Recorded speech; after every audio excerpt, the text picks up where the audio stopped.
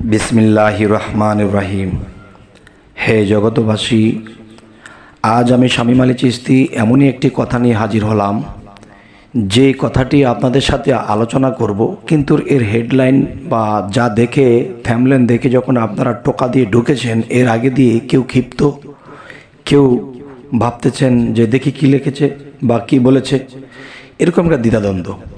তবে আমি অবশ্যই বলব যে নবীর আইন যারা মানে তারা কাফের এবং যারা না মানে তারাও কাফের। এটা কেমন কথা? মানলেও কাফের, না মানলেও কাফের। এখানের একটা মূল বিষয় হবে কি? যে নবীর আইন মানলে সে কাফের হবে কেন? আচ্ছা নবীর আইন বা নবীজির কোনো কথা বা নবীজির কোনো চরিত্র বা নবীজির কোনো বিষয় যদি কেউ না বুঝে এটাকে মানে তাহলে সে কাফের। আর কাফের শব্দের অর্থ কি? কাফের শব্দের অর্থ কয়েকটা হয়। একটা হলো সত্য প্রত্যাখ্যানকারীকে কাফের বলা হয়। আবার অবুজ, যারা নবীকে বুঝে নাই, নবীকে মানে নাই, না বোঝার কারণেই তো মানে নাই। আর এই জন্যই তারা হয়েছে কাফের। তাহলে কাফের আরেকটা অর্থ আসে কি? অবুজ। যারা বোঝে নাই, তারাই নবীকে মেরেছে, নবীকে অত্যাচার করেছে। তবে আজকে আপনাদের সামনে এরকম একটা থ্যামনেল কেন দেওয়া হলো?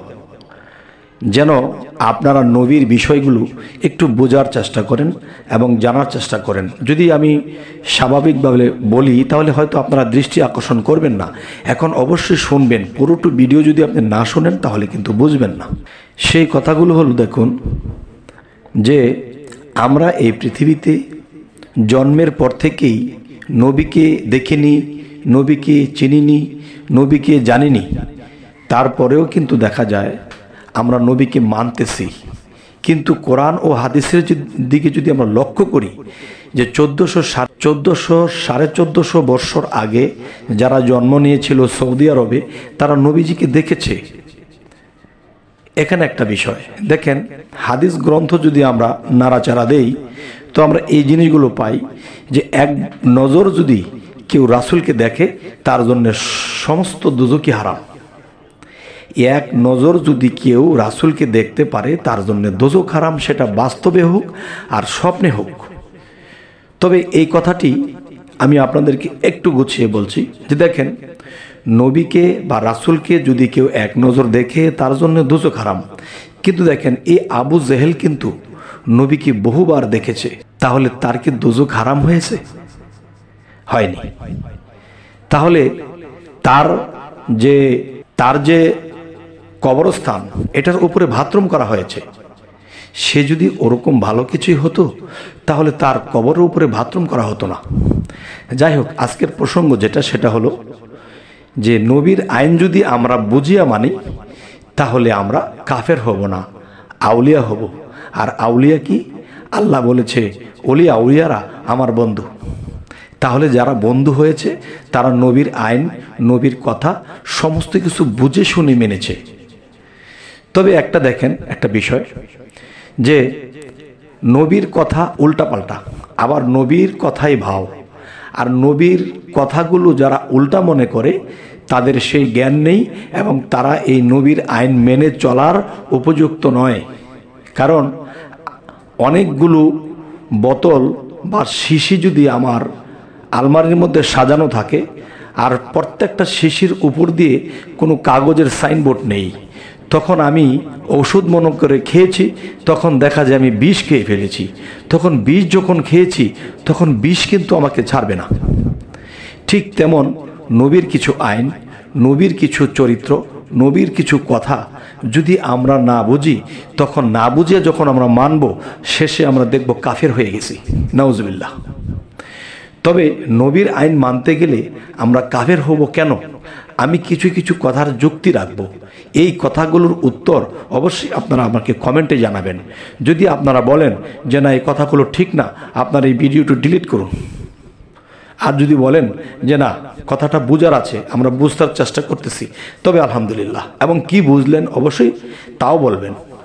হে জগতবাসী আজকের বিষয়টি আমি একটা ছোট এক্সাম্পল করব। সেটি হলো, দেখেন, নবীর সোয়া লক্ষ সাহাবা ছিল। এর মধ্যে দেখা যায়, চারজন শ্রেষ্ঠ বা পাঁচজন শ্রেষ্ঠ। তাহলে এই শ্রেষ্ঠ সাহাবাদের মধ্যে কি হয়েছিল?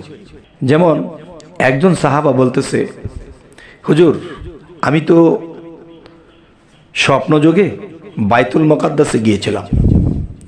বাইতুল মকাদ্দাসে গিয়ে দেখি যে একটি দরজা একটি দরজা আর একটি হলো জানালা, একটি গেট, দুইটি, দুই দিকে দুইটি জানালা। তখন নবীজি বলেছে হ্যাঁ হ্যাঁ হ্যাঁ ঠিক ঠিক। এর কিছুদিন পরে আরেকটি ভক্ত বা আরেকটি সাহাবা এসে বলতেছে যে, হুজুর, আমি দেখেছি যে বাইতুল মোগাদ্দাসে আমি স্বপ্নযোগে গেলাম তখন দেখলাম দুইটি গেট, চারটি জানালা। তখন নবীজি বলল হ্যাঁ হ্যাঁ ঠিক ঠিক। এরপরে আরেকজন গিয়েছে, বলতেছে, হুজুর, আমি বাইতুল মোকাদ্দাসে স্বপ্নে গিয়েছি। গিয়ে দেখলাম তিনটি গেট, ছয়টি জানালা। তখন বলছে হ্যাঁ হ্যাঁ ঠিক ঠিক ঠিক। আরও কিছুদিন পরে আরও একটি সাহাবার স্বপ্ন দেখলেন এবং বললেন যে, হুজুর, আমি বাইতুল মোকাদ্দাসে গিয়েছিলাম স্বপ্নে। গিয়ে দেখি যে, চারটি গেট, আটটি জানালা। তখন বলল হ্যাঁ ঠিক ঠিক। তো এখন কথা হলো যে বাইতুল মোকাদ্দাস তো একটাই। তাহলে একজনে বলল, একটি গেট, দুইটি জানালা, তাও ঠিক। আবার দুইটি গেট, চারটি জানালা, এটাও ঠিক। আবার তিনটি গেট, ছয়টি জানালা, এটাও ঠিক। আবার চারটি গেট, আটটি জানালা, এটাও ঠিক। তাহলে নবীজি কয় প্রকারে কথা বলতেছে? এখন এ ধরনের কথা শুনে আমাদের কি মনে হচ্ছে? নবী কি কখনো মিথ্যা বলে? কিন্তু মনে তো হচ্ছে মিথ্যাই বলতেছে। তাহলে নবীজির হাদিস বোঝার মতো জ্ঞান সকলের নাই।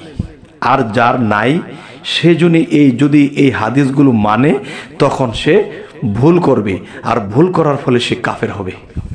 আর কাফেরই আরেক নাম সত্য প্রত্যাখ্যানকারী অথবা অবুজ। যারা অবুজ ছিল, তারাই তো নবীকে টর্চারিং করেছে, নবীকে অত্যাচার করেছিল।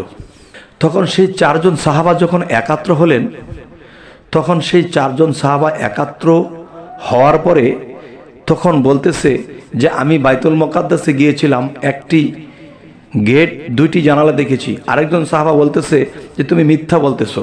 আমি দেখেছি দুইটি গেট, চারটি জানালা। সে বলতেছে, তুমিও মিথ্যা বলছো। তখন বলতেছে, আমি দেখেছি তিনটি গেট, ছয়টি জানালা। আরেকজন বলছে, তুমিও মিথ্যা বলছো। যে চারটি গেট এবং আটটি জানালা। তখন কিন্তু চারজনের মধ্যে দ্বন্দ্বের সৃষ্টি হলো। তখন বলল, আমার কথা নবী রায় দিয়েছে। সে বলতেছে, আমার কথা নবী রায় দিয়েছে। সে বলতেছে, আমার কথা নবী রায় দিয়েছে। তখন চারজনের মধ্যে যখন দ্বন্দ্ব সৃষ্টি হলো, সে বলতেছে, আমিও ভুল দেখিনি, আবার নবীও তো ভুল বলেনি। তাহলে তুমি দেখেছ একটা, আমি দেখেছি একটা নবী রায় দিল হ্যাঁ ঠিক, তাহলে কি আমরা মিথ্যা, না বাইতুল মোকাদ্দাস মিথ্যা, নাকি নবী মিথ্যা? নাউজবিল্লা এখন কি বিষয়টা কি? হে জগতবাসী আজকের এই আলোচনাটি একটু মন দিয়ে শুনবেন। অবশ্যই এখান থেকে আমাদের কিছু বোঝার আছে, কিছু জ্ঞান পাওয়ার আছে। সেটি হলো আমি আপনাদেরকে আরেকটু বলছি, যে দেখেন, তখন নবীজির কাছে যখন গেল চারজন, তখন নবী তো বুঝে ফেলেছে তাদের ভিতরে যে কোন প্যাঁচটা লেগেছে। তখন বলতেছে, হুজুর, আমাদের কিছু কথা আছে। যে কথা আমাদের ভিতরে এমন প্যাসের সৃষ্টি হয়েছে, আমাদের ইমান নড়ে যাওয়ার অবস্থা হয়েছে। হয় বাইতুল মোকাদ্দাস মিথ্যা, আর না হয়তো আপনি যা বলেছেন তা মিথ্যা, আর না হয়তো আমরা দেখেছি এটা মিথ্যা।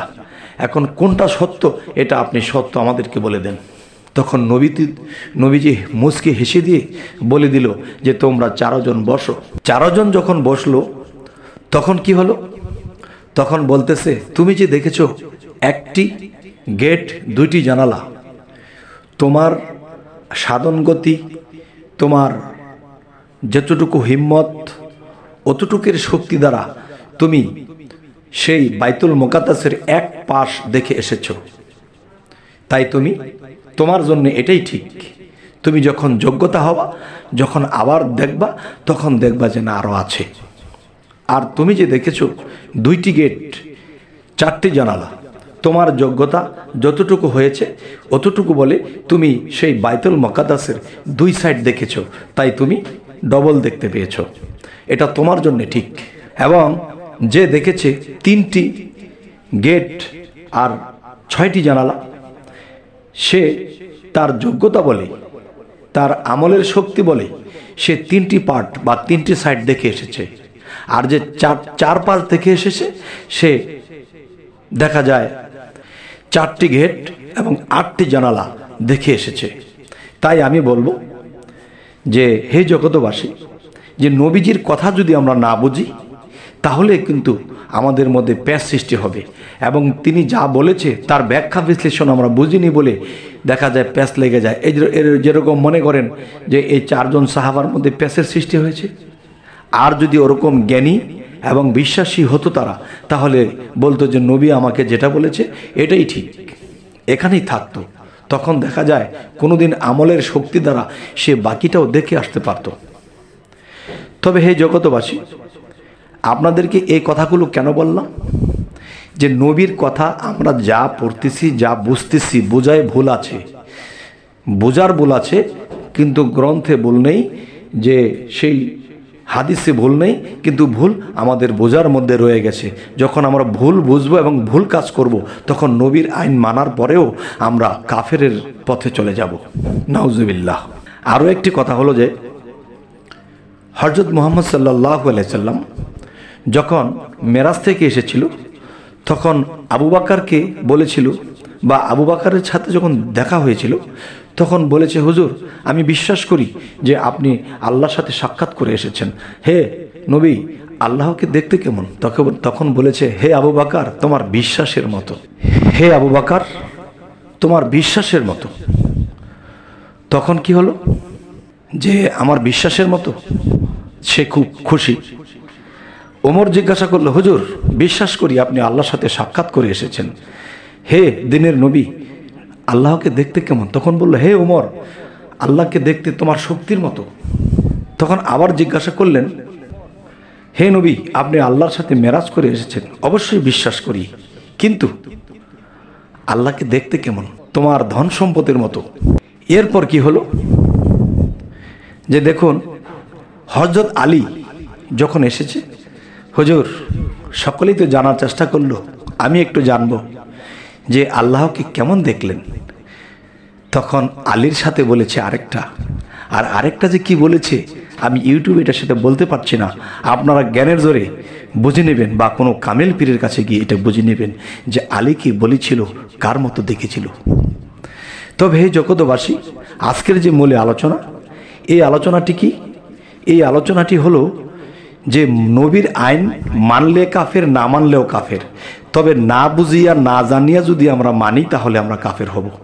আর যদি বুঝিয়া, জানিয়া যখন আমরা মানব, সেই কথার গোর গাবট, সেই গভীরত্ব যখন আমরা বুঝে মানব, তখনই আমরা অলিয়া উলিয়া হতে পারব। তখন আর কাফের হব না। তবে আমার থামলেন্ডি দেখে আপনারা অবশ্যই কেউ এমন কিছু ভেবেছেন যে এটা কেমন কথা। তো নিশ্চয়ই আপনাদের এই কথার প্যাচগুলো ভেঙেছে। আর যদি এই কথার প্যাচগুলো নাও ভাঙে, তবু আপনি আপনারা আমাকে জানাবেন কমেন্টে। তবে হ্যাঁ জগতবাসী আমাদের এই আলোচনা যদি আপনাদের ভালো লাগে, তো অবশ্যই সাবস্ক্রাইব করে রাখুন। পরবর্তী ভিডিও আকর্ষণগুলো আপনাদের কাছে চলে যাবে। তো সকলেই ভালো থাকবেন। আল্লাহ হাফিজ।